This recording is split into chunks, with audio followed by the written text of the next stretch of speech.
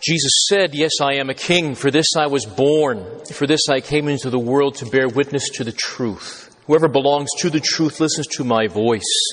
Words taken from St. John's Holy Gospel. In the name of the Father, and of the Son, and of the Holy Ghost. Amen.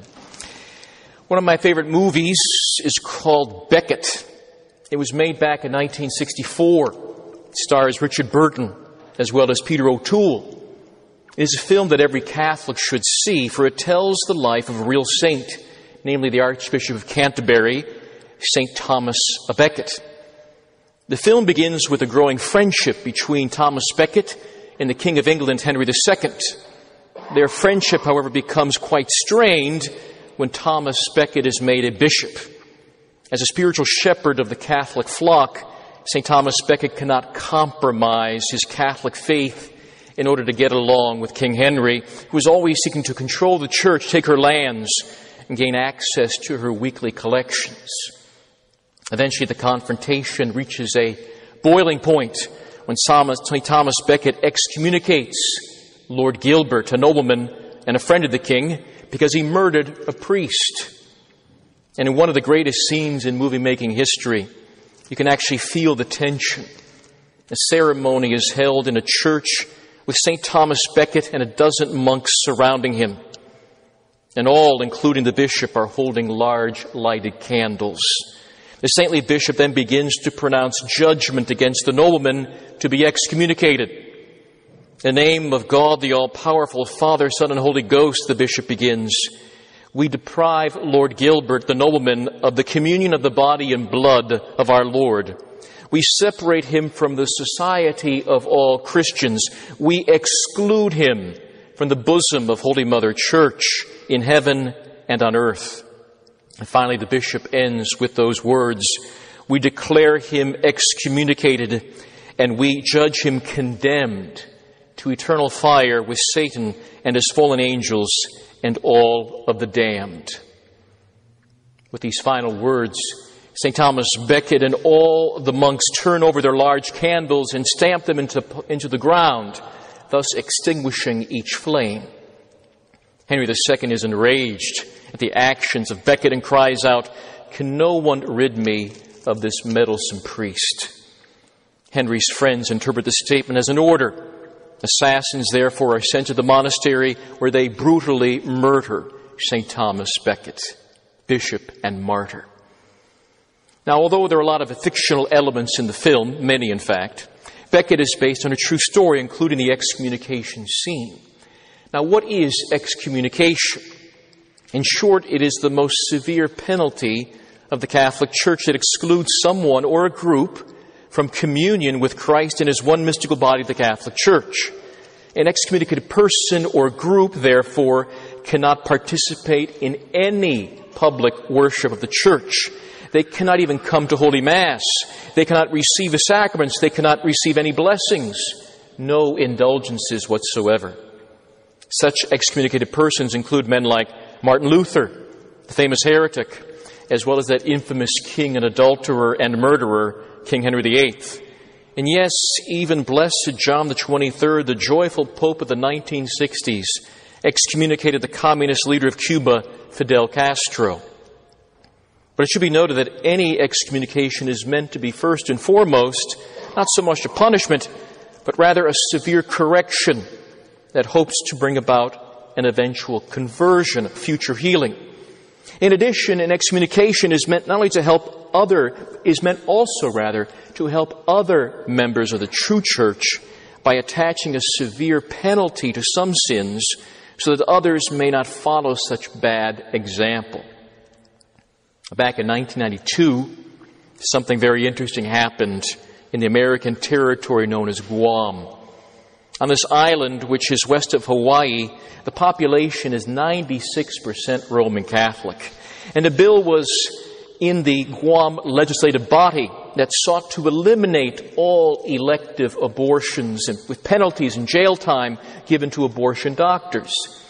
In their House of Representatives, which numbers some 21 persons, a full 20 happened to be Roman Catholic. When the vote was about to be taken to make this pro life bill into the law of Guam, the Archbishop of the island publicly stated that any Catholic representative that voted against the pro-life bill would be immediately excommunicated. During the entire vote on the floor, the Archbishop was in the gallery above witnessing every vote. The vote in favor of the pro-life bill carried unanimously. When the U.S. liberal media heard about this, they were outraged. How dare a Catholic bishop threaten a Catholic lawmaker with such a severe penalty? What about the separation of church and state? The Archbishop of Guam was just following the Holy Gospel and was simply practicing his role as shepherd of the flock like those bishops mentioned the Holy Bible, including St. Paul and St. Timothy. The practice of excommunication is in the sacred scriptures. Did not our blessed Lord state that if one did not listen to Holy Church, then that person was to be treated as a heathen and a tax collector? And consider too the case mentioned in one of St. Paul's letters specifically. The moral case was a perverse one where a man, a member of the church at Corinth, was having relations with his father's wife. Listen to the language used by the apostle regarding the offender. Quote, a man who does a thing like this ought to have been expelled from the community. I have already condemned the man who did this thing as if I were already and actually present. He is to be handed over to Satan, the apostle writes, so that his sensual body may be destroyed and his spirit saved on the day of the Lord. Unquote. Now note that St. Paul supports excommunication, but with the goal of ultimately saving the man, his soul. The church does have the right to excommunicate, as does any other group, assembly, or society. Traitors to their country can lose their national citizenship. Teenagers can be expelled from school. Even incorrigible young people can be told to leave the family home if they cannot abide by the family rules. The church is not just any old society. She is literally the mystical body of Christ. She is Christ's presence on this earth. And when she speaks, she speaks with his kingly authority, with an authority that has the power of the keys of the kingdom to unlock the gates of heaven, but also to close and lock those same gates. And when the church chooses to excommunicate, which is done rarely, she is stating that the penalized person or group is not just out of communion with the church militant on earth, but also expelled from the church triumphant in heaven. When one is somehow not in communion with the church, he is also not in communion with Christ himself. The kingship of Christ, which we celebrate this morning at Holy Mass, is a kingship shared in by his holy church, especially by those shepherds, those bishops that represent Christ the King. His authority to rule and to penalize is also the authority of his chosen instruments. When one hears the authoritative voice of the church, one is hearing the authoritative voice of Christ the King. Now, in decades and centuries past, the shepherds, the bishops of our church spoke with a powerful voice. And it was a powerful voice that people heeded because the king was speaking. Up in Boston, Massachusetts, where I come from, there was an incident back in the 1930s that proved this point. The governor of the Bay States at that time wanted a state lottery in order to increase state revenue. Nearly every member of the state legislature was on board agreeing to the state lottery. But then it happened. One day before the vote, the Archbishop of Boston, Cardinal William O'Connell, weighed in.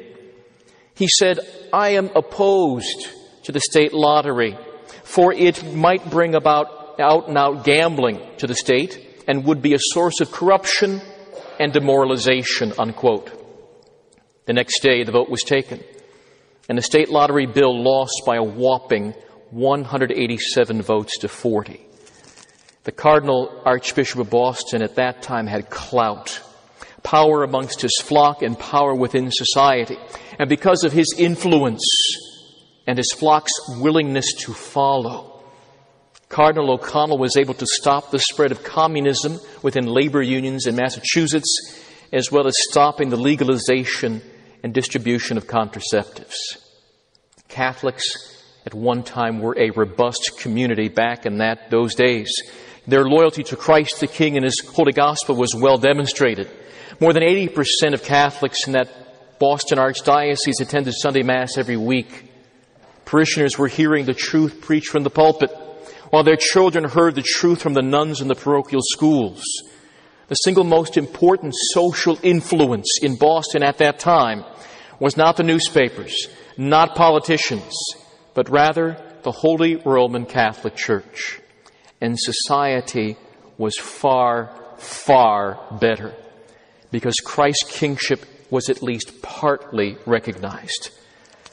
Now, what about the present situation up in the Bay State? Well, suffice it to say that Massachusetts was the first state to legalize the abomination of sodomitical marriage. And as I mentioned two weeks ago, Massachusetts also has a referendum on the ballot this November to legalize assisted suicide, and polls show that it will probably pass. With the clerical scandals in that state and the archdiocese having less than 20% of people attending Mass each Sunday, the influence of Christ the King and His Holy Gospel seemed utterly absent. And this situation is not just present up in the north, but throughout the United States and the Western world. The bishops seem powerless, and the flock seems confused and even lost. Consider, for example, the presidential election of 2008. One of the candidates that ran for the presidential office told Planned Parenthood, which is the largest provider of abortions and sterilizations in the world, that the first thing he would do as president would be to sign the Freedom of Choice Act, a governmental law that would forbid any state from in any way limiting abortion rights, including the horror of partial birth abortions. And yes, this same candidate, while a state senator in Illinois, would not support even the Born Alive Act. That is, he would not support medical attention to a baby that survived an abortion. Let it die.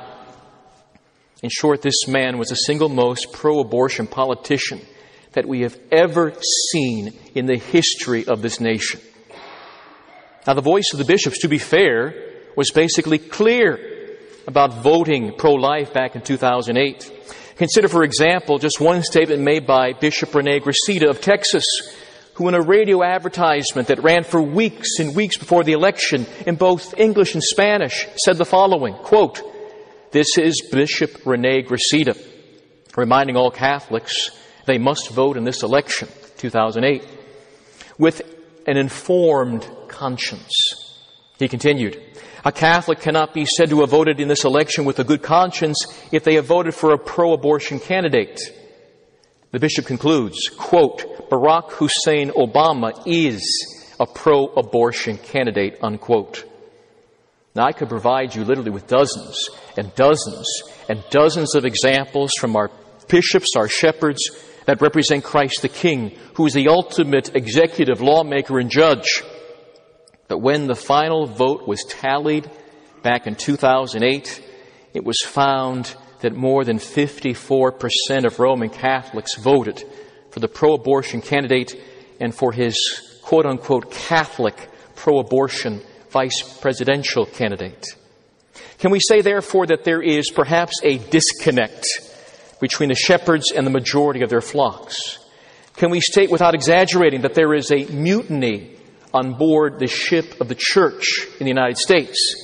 Can we say that all these statements made by the bishops largely fell on deaf ears and that it is high time that we see some action as opposed to all these words and sermons and speeches. We have a vice president in our country that receives Holy Communion every single week without exception. A vice president who recently stated in a debate that his Catholic faith, quote, defines who he is as a man. Yes, this Irish Catholic, this Catholic hypocrite from Scranton, Pennsylvania, and former senator from Delaware, has been one of the biggest promoters of abortion for years. Furthermore, the Health and Human Services Department head, a Catholic woman named Kathleen Sebelius, has been a major player in an attack upon the Catholic institutions of our country with a so-called HHS mandate. This mandate would first force such Catholic institutions to provide insurance coverage for immoral, unnatural perversions against the Ten Commandments. You see, the present administration in our nation's capital is not just satisfied with us tolerating their evil. They want us to participate in it. Although the bishops, the representatives of Christ the King, have no material arms, they have no tanks, no weapons of mass destruction. They do have weapons, spiritual weapons at their disposal that have worked in the past on many occasions. Namely, the power to speak loudly through action, the power to excommunicate, to expel from union with Christ and the church those who will not abide by our ways. Over the past few years, a handful, just a handful of bishops have already started to make corrections by warning some Catholic politicians not to receive Holy Communion who are supporters of abortion. And this should be obvious to the offender because if one is not in communion with the faith and the way of Christ, then why in heaven's name would anyone receive communion? But these admonitions, these warnings, it must be stated, lack the punch, if you will, of a penalty of excommunication. And if and when there are excommunications, and there will be one day, the ship of the church will be tossed about violently. She will be attacked in the media and maybe even threatened by the government itself. But if this happens, the bishops will be able to imitate Christ the King evermore, who was crowned not with gold, but with thorns. As a final note to all traditional minded Catholics in particular, who may be struggling with their decision to vote this coming November in the presidential election, there are objections to both candidates, although one is far more offensive to us than the other. Obviously, no one in this congregation would even think about casting a vote for the present occupant in the White House. He is a radical revolutionary that seeks to overturn the very last vestiges of whatever Christian order might be left in this nation. He is an icon of the culture of death and the sodomitical agenda. And with that being stated, however, traditional minded Catholics still struggle, since the other option, though better, is still far from perfect. Although he has spoken out against experiments on little embryos, this candidate still fails to satisfy fully since he allows exceptions for abortion. Furthermore, although he does seem to support traditional marriage and reject the notion of sodomitical marriage, his position is quite politicized, especially if you look at his past actions when governor of the state of Massachusetts. But some in the traditional community, I believe, go too far in regards to their views on this presidential election. Some individuals, for example, are claiming that to vote for the challenger is sinful and evil, for he allows exceptions to abortion. They point to statements made by bishops, priests, and educated laymen which state that voting for a candidate who allows abortion is wrong, plain and simple. One should either vote for a third party candidate that is fully in line with the natural law or not vote at all. Now, I would never condemn one who decided to leave the ballot blank on the chief executive, and I would never fault anyone for voting for a candidate representing a minor party with no chance to win. What I do find fault with are those supposed purists who claim that a vote for the governor of Massachusetts, the former governor, would somehow be mortally or even venially sinful. The one-time head of the Holy Office, Cardinal Joseph Ratzinger, taught the following, quote, A Catholic would be guilty of formal cooperation with evil if he were to deliberately vote for a candidate because of that candidate's permissive stand on abortion. But the good cardinal then added, quote, when a Catholic does not share a candidate's stand in favor of abortion, but votes for that candidate for other reasons, it is considered remote material cooperation which can only be permitted in the presence of proportionate reasons. Unquote. A lot of moral theology there. cooperation issues, formal or remote, issues of proportionate reasons. Proportionate reasons is the key phrase. But considering that human bodily life is the highest natural good we have, what proportionate reasons could possibly be present that would allow one to vote for a candidate who supported abortion in any way whatsoever? The only possibility is that the other candidate in the race, the opponent, would allow for even more abortions, more euthanasia, more evil. Again, the cardinal is saying that one could vote for a candidate who allows for abortion in limited cases when the alternative candidate promotes abortion far, far more. The goal then of the Catholic voter in some cases is simply to limit the evil. We live in a valley of tears, a fallen world. Again, one could choose not to vote for president or vote for a third party candidate that fully embraced the natural law. That's true. This would be fine, especially if you were voting in a state like Alabama or Wyoming. But if you live in a state like Ohio, where the election could either go either way, it literally could decide the next four years. I would carefully discern your voting decision. The man who lives on Pennsylvania Avenue right now is an enemy of life. He's an enemy of marriage. He's your enemy and he's my enemy. He's an enemy of the church and he's literally an enemy of God. No exaggeration there. In this valley of tears that is the earth, where evil often seems to have the upper hand, we must do all within our power to limit at least the advance of evil as we wait for that joyful day and coming of our Lord and Savior Jesus Christ, who will save this universe, for he is King of it. In the name of the Father, and of the Son, and of the Holy Ghost. Amen.